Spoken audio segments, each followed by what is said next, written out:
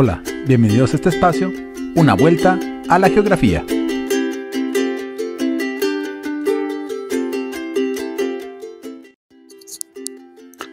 El día de hoy hablaremos sobre la geopolítica. La geopolítica es el estudio de la vida e historia de los pueblos en relación con el territorio geográfico que ocupan y los factores económicos y raciales que los caracterizan.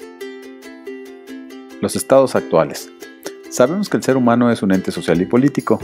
En una sociedad que trabaja, se expresa y vive, pero también sabemos que la convivencia con otros seres humanos es compleja, por lo tanto genera ciertas controversias que debemos atender.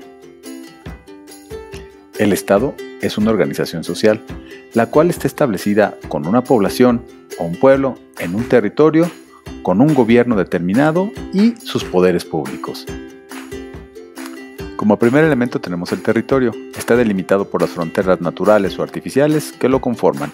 Es el espacio geográfico, el espacio político constituido por el espacio terrestre, el marítimo y el aéreo. El siguiente aspecto es la población. La población se refiere a los habitantes que viven dentro de un territorio, es decir, al grupo social de personas que comparten en general la misma lengua, costumbres y modos de vida. Otro de los elementos imprescindibles del Estado es la soberanía, es decir, un poder que no reconozca a otro mayor para su gobernanza. Es muy importante en los elementos del Estado contar con un gobierno que lo represente y que finalmente busque el beneficio de todos los elementos de la población.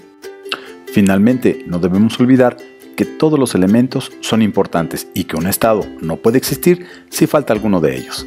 Con esto terminamos, nos vemos más adelante, hasta pronto.